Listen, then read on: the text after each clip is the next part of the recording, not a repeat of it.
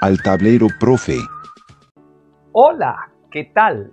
Bienvenidos al tablero profe, una nueva edición de la aula virtual.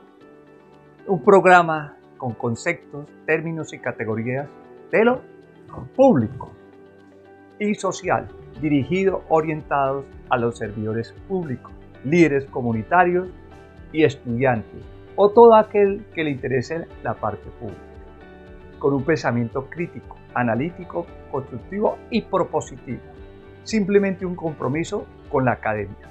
Para el día de hoy vamos a hablar de las diferencias entre las reservas presupuestales y las cuentas por pagar como instrumentos o herramientas de aplicación en la ejecución presupuestal de una entidad pública. Pues bien, arranquemos eh, realizando una presentación de cada una de estas figuras. Vamos a hacerlo inicialmente con las reservas presupuestales. Desde el punto de vista conceptual, un acercamiento, una aproximación a lo que es el concepto correspondiente a esa reserva presupuestal. Pues bien, son compromisos legalmente constituidos a 31 de diciembre de la vigencia fiscal, que fundamentalmente no se entregó ni el bien ni el servicio por circunstancias mm, que posteriormente iremos a, explicar. Entonces, pues obviamente no serán pagados en esa vigencia. Requisitos para que se dé reserva presupuestal. Uno, fundamentalmente, que exista un compromiso, un contrato, un convenio, un acuerdo para poder realizar una obra pública, en este caso. Que obviamente se dé una situación inesperada, espontánea, atípica. ¿Qué quiere decir? Que se, haya, se presente posteriormente al perfeccionamiento del contrato. Porque eh, cuando se, eh, se, hizo el contrato, pues obviamente no estaban esas circunstancias, esas situaciones que aparecieron posteriormente. Entonces, en esas circunstancias lo debemos tener muy en claro para poder hacer las reservas presupuestales. Ejemplo, eh, ubiquémonos para ser más concretos y precisos en la época de la pandemia. La pandemia empezó aproximadamente en marzo se firmó un contrato de obra pública, la construcción de una carretera eh, X municipio de Colombia, y se firmó en febrero para, para que la obra se construyera en ocho meses aproximadamente.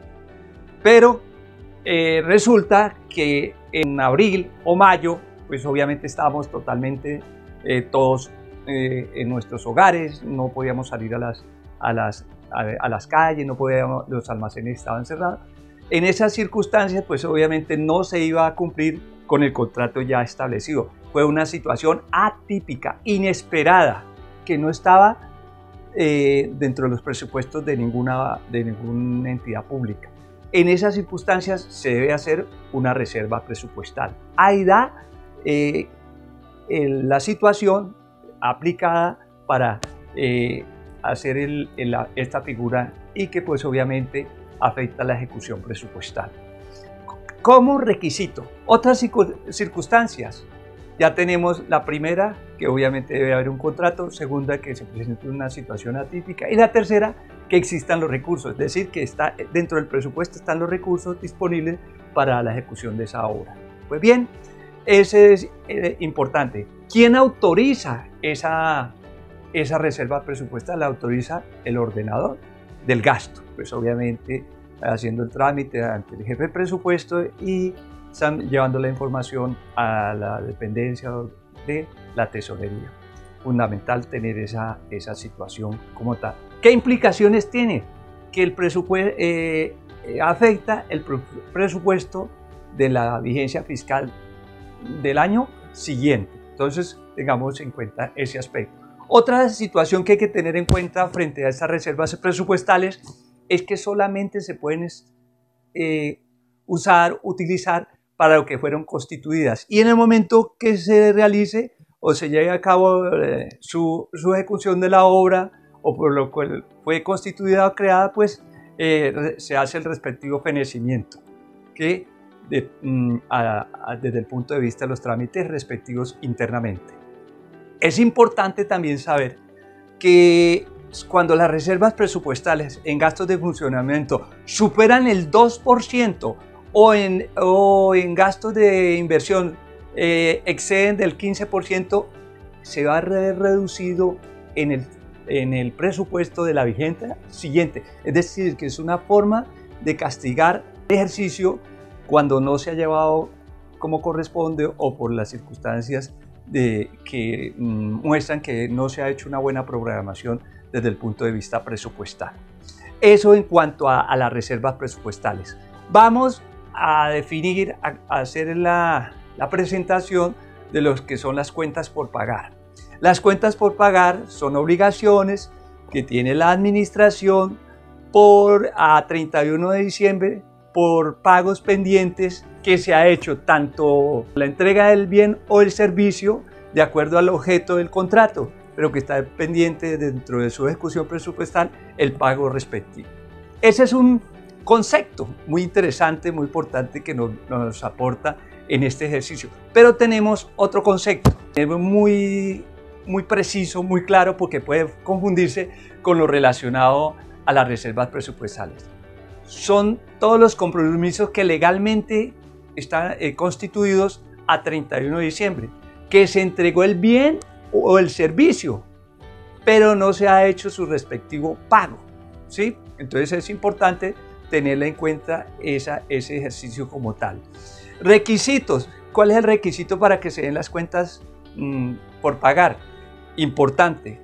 Uno es que se haya entregado el bien o el servicio. ¿Quién lo autoriza? Pues obviamente lo elabora inicialmente el tesorero y con, con la autorización de quién? Del ordenador del gasto. ¿Qué implicaciones tiene? Eh, ¿Qué afecta el presupuesto de la vigencia eh, actual o la vigencia en curso? No, no afecta la vigencia siguiente. En la vigencia siguiente solamente se hacen procedimientos o trámites internos de orden contable, pero que desde el punto de vista presupuestal no afecta de ninguna manera. Entonces es importante que tengamos en cuenta ese aspecto. Vamos, como un ejercicio desde el punto de vista de aporte personal, eh, se realizó un cuadro esquematizado que marca bien las, las diferencias entre lo que son las reservas presupuestales y las cuentas por pagar. Esas diferencias se dan desde el punto de vista conceptual y están dadas de la siguiente manera. Pues obviamente hay que determinar que eh, hay unos un compromiso legalmente constituido y no cumplido del bien o del servicio a 31 de diciembre. Por eso obviamente establecemos la reserva. Y a diferencia de eh, las cuentas por pagar, que son compromisos legalmente constituidos cumplido el bien o el servicio a 31 de diciembre, de diciembre pero no se ha pagado. Reservas presupuestales no se ha hecho ni el bien ni el, ni el servicio. Y en el otro se ha hecho el bien el servicio, pero no se ha pagado antes del 31 de diciembre. Otro aspecto importante de esa diferencia entre las reservas presupuestales y las cuentas por pagar es que antes, de la, eh, antes del estatuto, eh, de existir el Estatuto Orgánico de Presupuesto, el Decreto 111 del 96, que es el reflejo de la Ley 38 del año 89, de la Ley 139 del año 94 y la Ley 225 del año 96, fundamentalmente esa es la recopilación de ese Estatuto Orgánico de Presupuesto, las reservas presupuestales se, se conocían con el nombre de reserva de apropiación y las cuentas por pagar se conocían como reservas de caja. Entonces, hay que tener en eh, precisos esos dos términos, esos conceptos, cómo se identifican, porque hay textos, libros que todas aparecen con esos nombres, con esos términos, esos conceptos, y que es importante que lo tengamos en cuenta para que no, no, no, no nos confunda en nuestras apreciaciones y, y, más que todo en nuestra aplicación desde el punto de vista del ejercicio de orden presupuestal. A otro aspecto, los requisitos. Los requisitos en las cuentas por las reservas presupuestales está establecida el compromiso, está establecido la existencia eh, de una situación atípica o inesperada y que existan los recursos disponibles. Esos son los requisitos para las reservas presupuestales.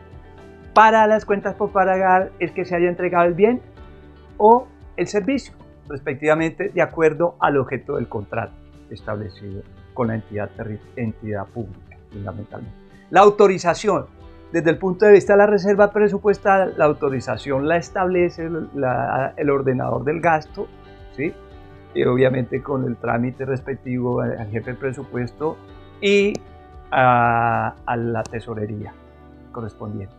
En las cuentas por pagar, la situación lo elabora el, la tesorería, lo que tiene que ver con esas cuentas por pagar, y las envía al ordenador del gasto para que haga su respectiva autorización. Entonces es importante tener esa. Las implicaciones. En las reservas presupuestales, la implicación eh, afecta el presupuesto de la vigencia siguiente. En las cuentas por pagar afecta el presupuesto de la vigencia en curso, que es importante que lo tengamos en cuenta.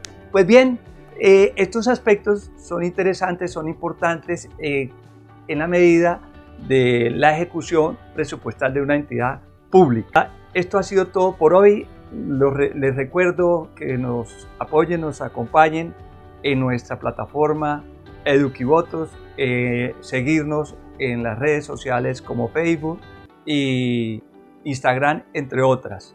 Eh, quienes tengan algunas inquietudes, algunas propuestas relacionadas con la parte pública, con mucho gusto las resolveremos en, en las ediciones siguientes. Hasta una próxima oportunidad. ¿Habla por todos en esta sala? Sí. Bien, es importante estar claro. Si te ha gustado nuestro video. ¿Lo está? Sí, sí, señor. Este parece un buen momento para beber y para... Y de darle me gusta y suscribirte a nuestro canal. Pero los discursos son para campañas. Ahora es tiempo para la acción.